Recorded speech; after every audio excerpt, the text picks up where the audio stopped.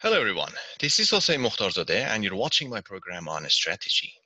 Since the world is changing quite fast these days, we probably need to adjust our strategies in life to get to our goals.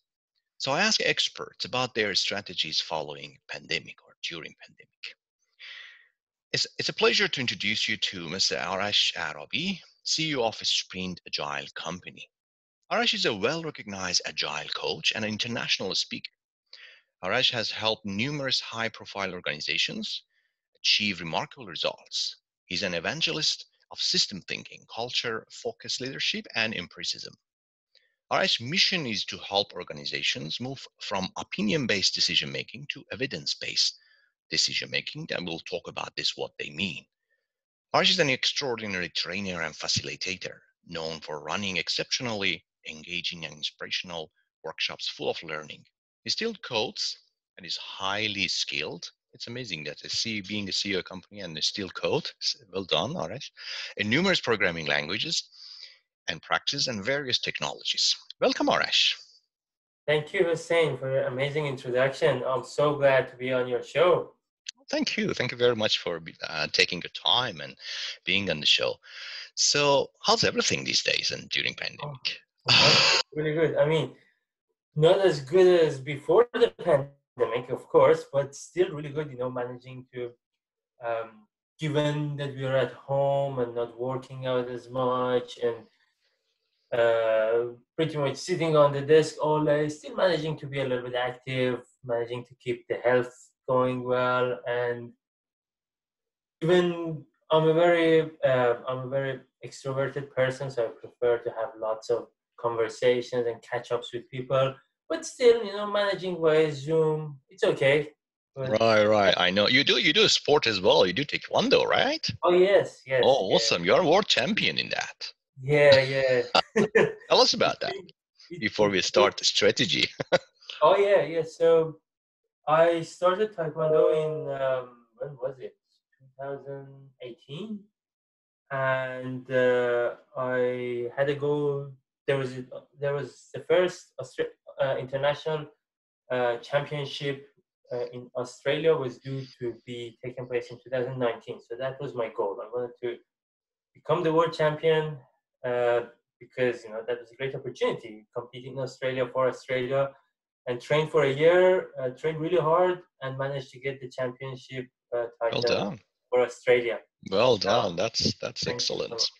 So maybe maybe yeah. Go ahead since the COVID pandemic has started, it's been so difficult not being able to train. I know. Killing me. no, I understand. So maybe one session we can talk about, you know, sports because I'm very fan. So you know that we can we can just talk about that. But let's go back to our um, question. So, what do you think about the strategy? Strategy is an interesting topic. I believe strategy has meaning when we look at it next to a goal or next to a vision.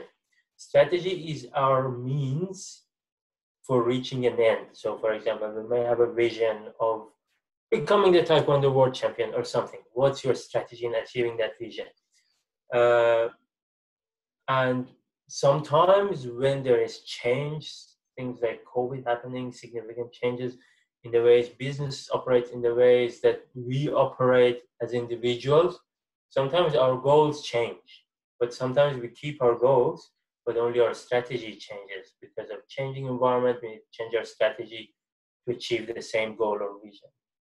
So have you changed your strategy during, you know, so you are basically, we'll, we'll get back to this, but you have a company, you are CEO a company and um, you you you do like training you do basically help organizations you know from different aspects of it i would like to hear more about this but have you changed your strategy because you definitely had some some goals right Absolutely. before the pandemic or of course Absolutely. Now. So the first highest priority thing is keeping the lights on, right?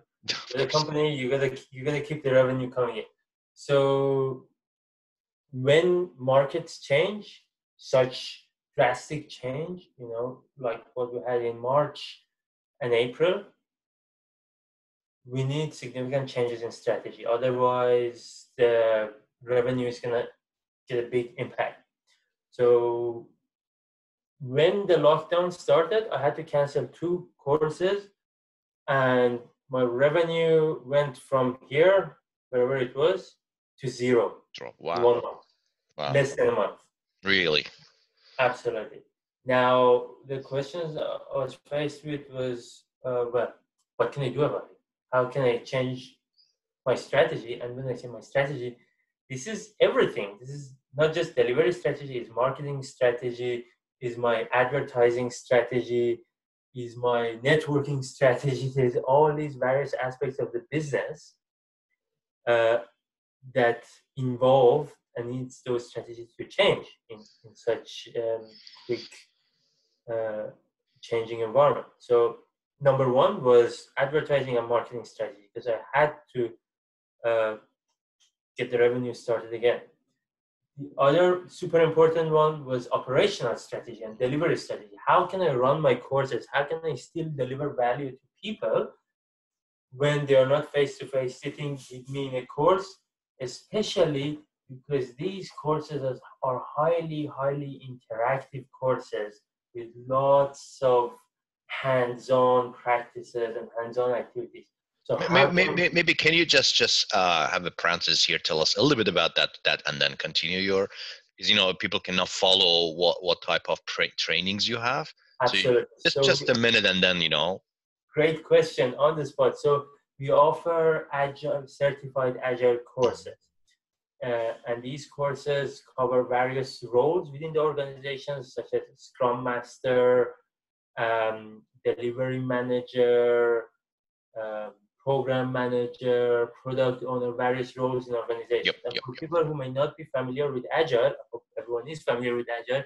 Agile is a method, is a mindset for delivering value in a nimble, agile way and changing direction fast. So it's an alternative way of project management, program management, and product management. Right, right. So basically, if I understand it from a naive point of view, it's like trying to optimize the system or trying to think yes. like a system thinking and then deliver yes as optimal. The, the best the best is simple description of it is improving effectiveness. Right, right, right. We'll get back to this. And sorry that I just stopped you for that, but you were talking about your own strategy. Yeah. Yes. So I had to revisit all my strategy basically. So I had to go back to the drawing board, think critically, think outside the box. And after one month, revenue started going back up. It oh, well done. To almost 80% of really how it would have been without. Well done. That's that's amazing. It wasn't draw job seeker or job. No, no. But I just kidding. offer one. No, I don't need it. I'm just kidding. people who need it. I'm just kidding. Right, right. So basically, you you applied uh, d- d- your own methodologies that you teach and you train other people. You, when you, you, you face basically this uh, pandemic, you see that wow, everything changed. so basically the income dropped to zero and what can we do out of that? you know so can you tell us um, probably not the detail of it you know because of your your own company but the the highlights you know that other people can take advantage of of uh, of, of of this process that you went through you know like if if i want to do farming okay gotcha. yeah how did i change my strategy well it's really difficult to uh, make a repeatable process out of it. Sure. It all comes down to all the baggage that I've collected. Maybe baggage is not the right word, but all the capabilities that I've built over the years.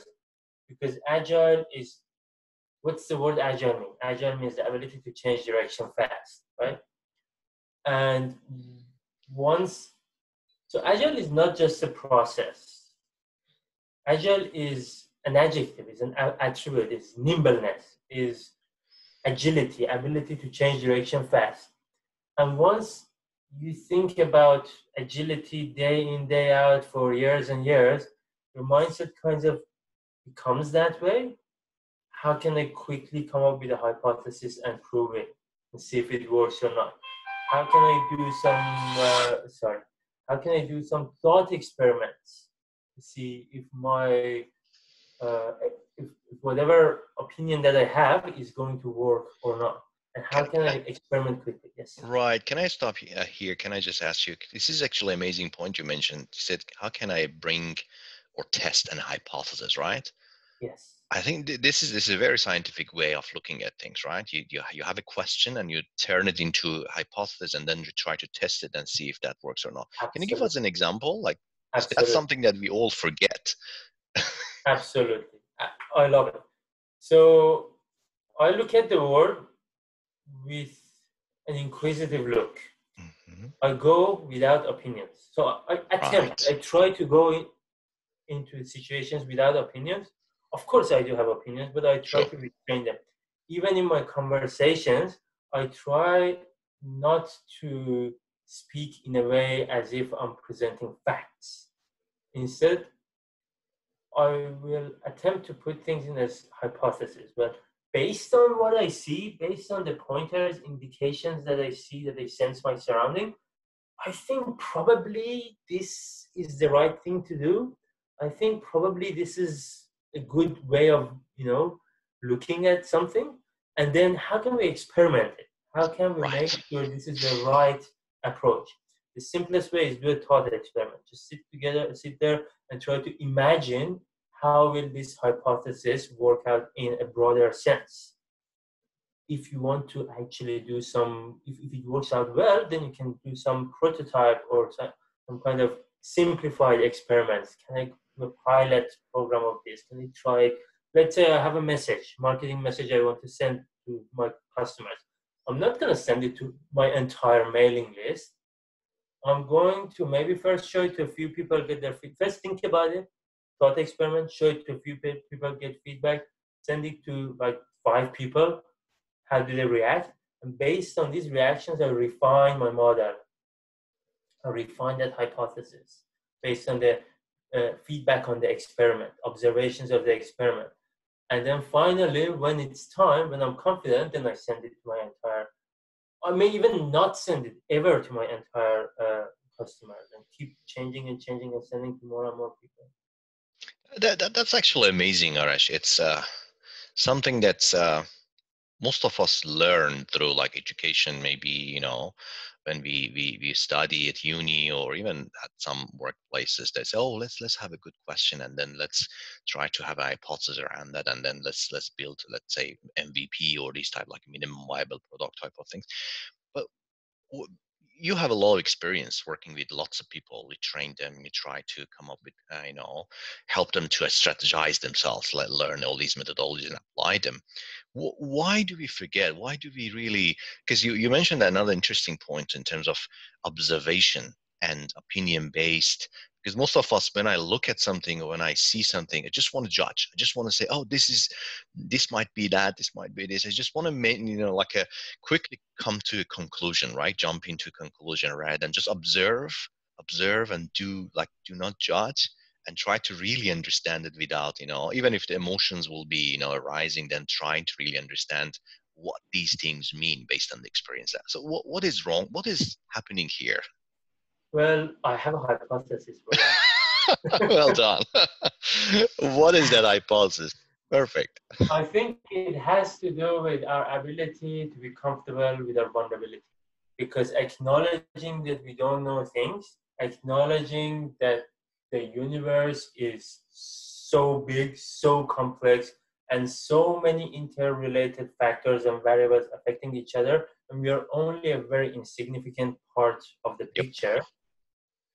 Once we acknowledge that, then it becomes easier to embrace uncertainty, embrace change, and accept our play, accept our own place in the bigger scheme of things.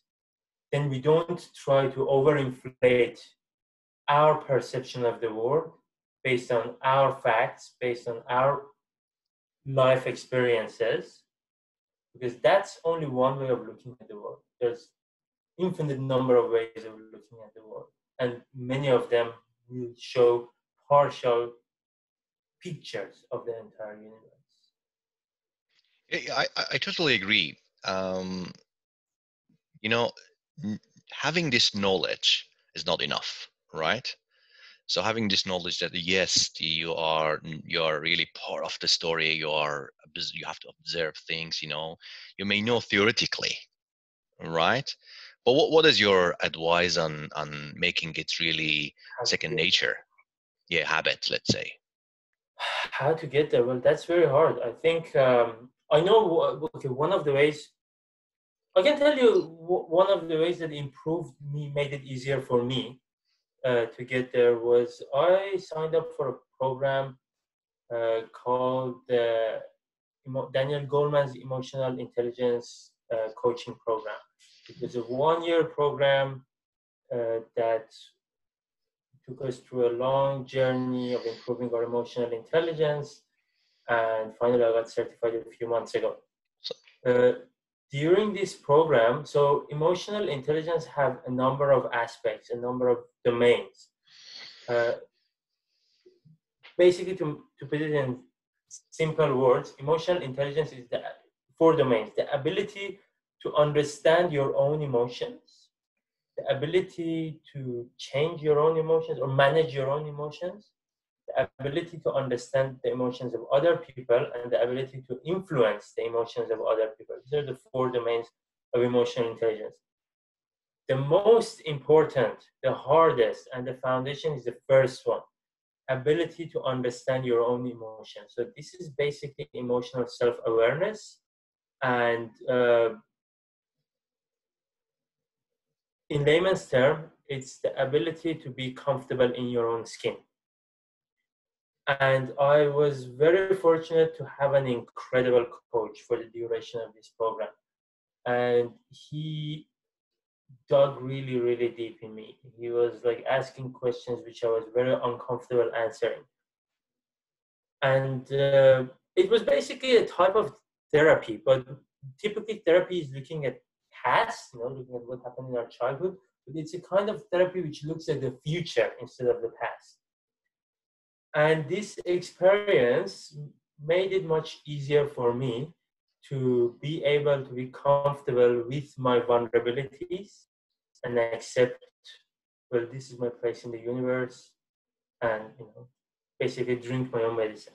that's that's that's awesome. Uh, you, you, basically, you, you remind me of type of like you mentioned like a therapy like a cbt like cognitive behavioral therapy mm-hmm. or people talking about um, uh, what do we call it non-invasive non-violence uh, communication or mm. sort of compassionate uh, communication that you you first observe observe your own feeling if something happens and try to basically say okay what is underlying need for that? Because there's a need that's not met why maybe that that is being um, triggered and then even understanding the, the person uh, in front of you or a person you're dealing with absolutely. right? and, uh, absolutely. And i would like to as we were discussing i i remember that there's something else which is super important i'd like to add is the the role of spirituality Mm-hmm. Uh, I think personally, for me, spirituality plays a big role in uh, helping me uh,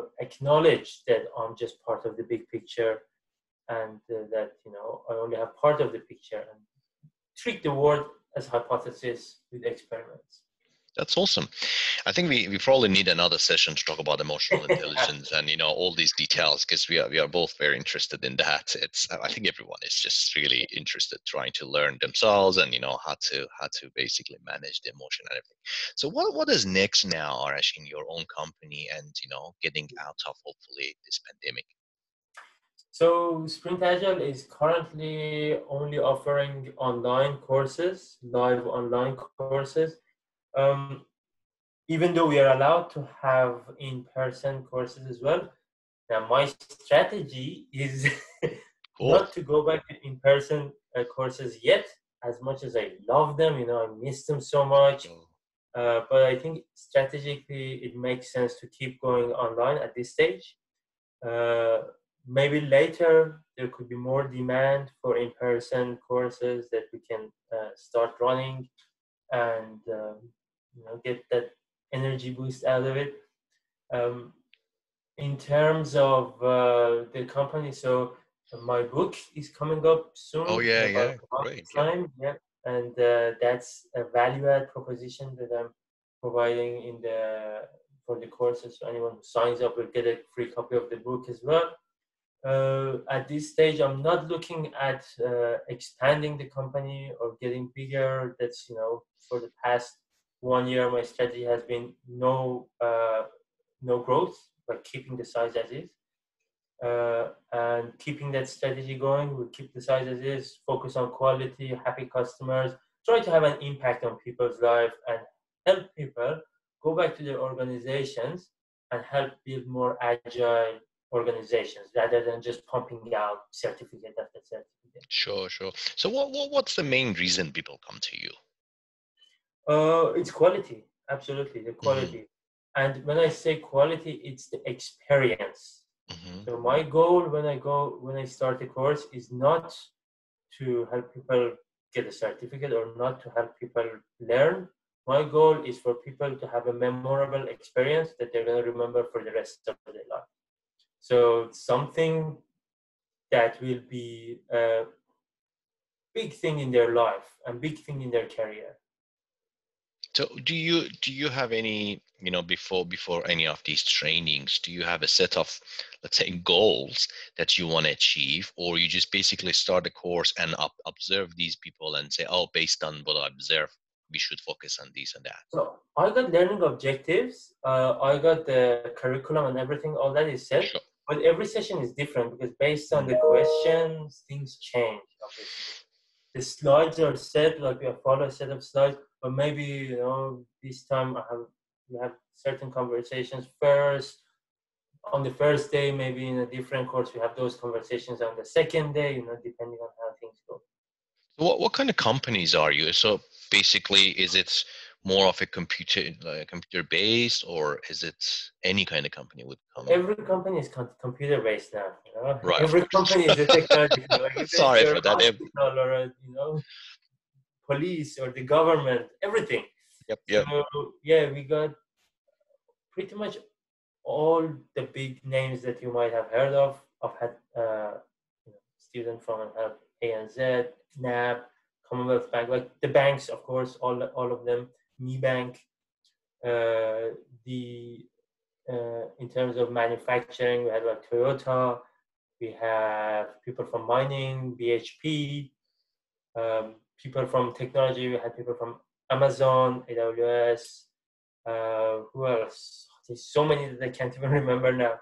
But the, the question actually, maybe before before we start this interview, we sort of uh, started talking about this. It comes to you know to mind that uh, again through your trainings, you know people will come to get value right from from this, and then get this. It's not just a certificate; they just want to really apply it and get the effective work done.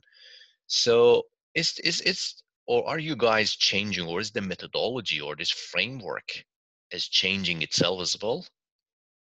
That's a brilliant question. I mean, I love that question.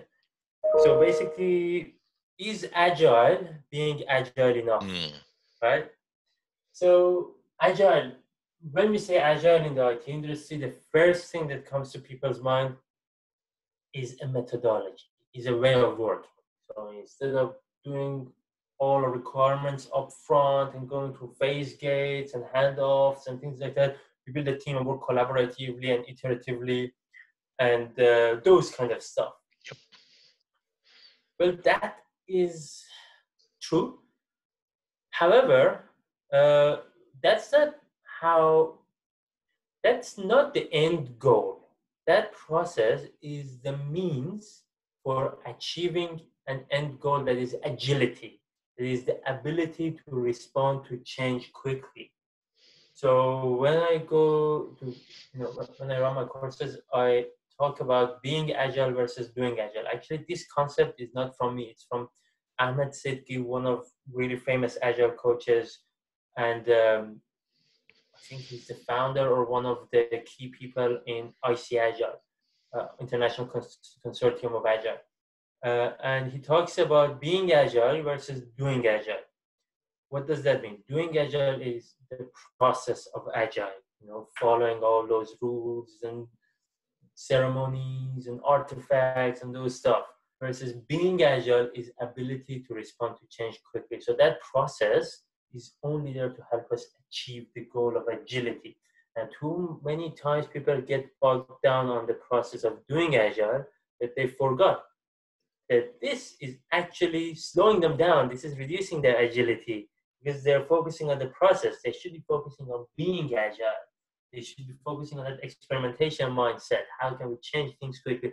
Processes doesn't matter. Processes is only for the beginners. You know, they just come from all these hierarchical companies. They have to kind of follow the process a little bit so that they can become advanced and they can focus on agility as an end goal. So to answer your question, agile processes, there are various organizations who come up with their own processes. There is Scrum, there is SAFe, there is, I don't know, so many of them. Some of them are very agile, some of them are not agile at all. So you see a variety of um, frameworks that are adapting quickly. And you see var- some of the frameworks are there just as they were 20 years ago and not changed. Right, right. Uh, it's it's it's amazing. Um, I believe we should we should talk more about this one hopefully um, in upcoming you know um, interviews. But what, what you know these days many people are really struggling, right? So financially you know mentally there, there, would be a lot of problems because of the all changes that happening in the world like what's what we see in victoria. So we were quite good and suddenly we see like oh today was like 70 something uh, overall in australia which is most mostly from from from uh, from victoria. So if someone comes to you right with all these struggles having this mindset what would you tell them to to overcome you know these challenges let's, let's talk about financial challenges. Okay. So, uh, well, people have to put bread on the table, whatever that means. Sure. Of course, sometimes, sadly, when things like this happens, when the job market is bad, some people sadly have to do jobs which are not their own work. They have to do delivery, they have to do something to put food on the table. Uh, it's quite important to think of whatever that you're doing now, just to put food on the table, as temporary thing. And I know people know that it's a temporary thing, but sometimes just the number of hours that you have to put into it makes it difficult to focus on looking for your real job, looking for your, you know, what you have been investing during your career. Your passion, for example. Your passion. Yeah. And um, let's say, for example, if I'm a Scrum Master, I'm, I get redundant. And of course, I have to pay my mortgage and everything. So I have to do whatever I can to get some cash flow. Now, if I'm doing eight hours of something, like for example, delivery or whatever, then there's not much time left for me to apply for positions and you know keep building exactly. myself. And and this is what makes or breaks it because when jobs is less competition is higher. Yep. So where maybe previously you were competing against people your own level now you're competing against people who are much better than you. So you got to sharpen that sword quickly and quickly because otherwise your competition is sharpening their sword they're improving their capability they're learning and improving. If you stay where you are those capabilities are going to be out of uh, market. Basically, cut it off. So, uh, my advice is uh, your number one priority needs to be improving yourself, investing in yourself. Uh, Warren Buffett says the single biggest investment you can do is in your own, in your own self. It's not shares, it's not gold, it's not property market, housing market. It's in your own capability. And you don't have to spend thousands of dollars on it. I mean, you can if you want. That's that's a shortcut if you can find good courses. But even if you don't have the money, you can always go and do self-learning. You can put your put goals for yourself. Uh, have this. Come write down your learning objectives. Like this is my learning objectives. These are the things that I have to learn the next week. I'm going to spend these number of hours per day. these YouTube videos, these TED Talks, and I'm going to reflect. So reading is part of reading and listening, and input is part of it. That input is going to come come input from this way and go out from that way. You know, if you don't apply it, yep. if you don't reflect on it. So it's quite key that once we learn something, we practice it, and maybe you could write blogs on whatever you learn. Maybe we could run presentations, free meetups, free presentations for your peers, and help the community because that solidifies the learning and builds that capability. Now that's much easier said than done. And there's so many distractions, like for example, the number of COVID cases in Victoria. It doesn't really matter. Like we should absolutely not care about how many COVID cases is there in Victoria because it doesn't affect our day-to-day abilities. I have stopped watching news for like two or three days. Sorry, two or three years. Two or three years. Okay. And now I get my news from anecdotal things that I hear from right. people that I talk to. I didn't know there are 70 cases of COVID in oh, Victoria. Oh, really? Did, did, did, you know that there's a this is a there's a pandemic? Did you know that? I knew there was a pandemic because I can't go out. That's a good one. So, um, of course, these are all much easier said than done. But one of the principles we talk about agile is prioritization. What's high priority to do? We've got limited mental capacity. Definitely. What are we willing to invest mental capacity in? That, that, that that's actually amazing because you know you you again remind me of like Stephen Covey's you know um, few pages the, the first uh, pages that he talks about um, your circle of concern and circle of influence basically exactly what you're talking about priorities because yeah. circle of concern is huge. All these you know things that happen in the war is big right? My my family you know all these my job my career whatever. But the thing is we cannot really do much with with all these concerns. What we can do is very small circle of influence right? That, that you nicely put into like prioritizing you know understanding that what it needs if, if, if i need really to just work bring um, bread on the table. So that's that's number one, right? But then then I, I have to do this quickly, hopefully, and then you know, of course, there, there's people have, have really these these days we, we hear huge problems and and actually I got got some like emails and stuff so from from from really senior people that still they are struggling as well. It's not like something that's oh it will it will pass easily. So we all know that we all know these challenges. So Arash, it's always uh, great talking to you. It's around uh, 30 minutes or so we have talked. I think we should we should have arrange another one if you have time next Absolutely. next maybe months or so we can catch up and discuss more because these are really great topics and yeah, you guys are doing fantastic job in terms of educating the next uh, or the people who really want to do work effectively. So, is there anything that you wanted to say in this um, talk or interview that I didn't ask you?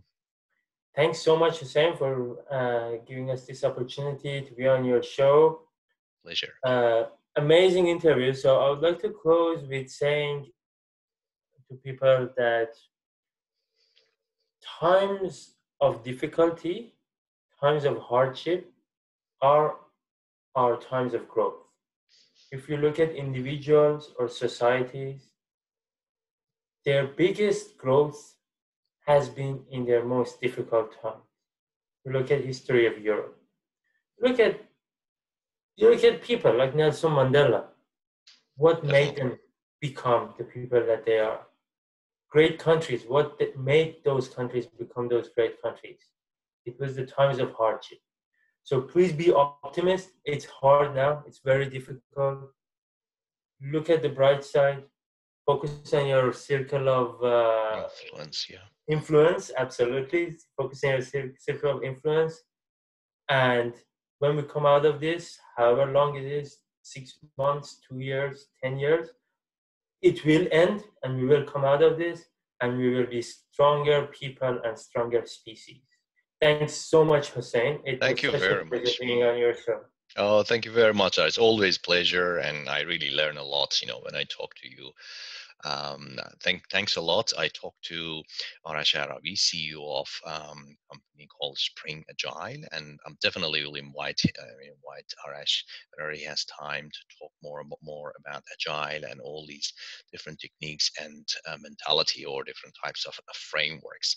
Thanks again, uh, and you are watching my program. I'm Hossein Mokhtarzadeh on strategy. Have a good day or night. Bye. Thank you so much. Thank you, everyone. Bye.